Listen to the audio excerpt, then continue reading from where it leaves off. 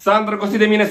Și eu zic. Așa. Exact, asta zic și eu, sunt de aceeași părere cu voi, s-a îndrăgostit de mine 100%, dar rău de tot, abia am scăpat, trăgea de mine de haine, ești cel mai frumos băiat pe care l-am văzut în viața mea, hai să ne căsătorim. I-am zis, stai un pic că nu funcționează chiar așa, au venit oamenii să ne despartă, i-au zis și oamenii, băi fată, nu mai fi așa obsedată de băiatul ăsta așa frumos. V-am zis că e foarte greu să ieși pe stradă ca gagicar așa ca mine, abia am scăpat. Să ne și pe noi. Ești tare.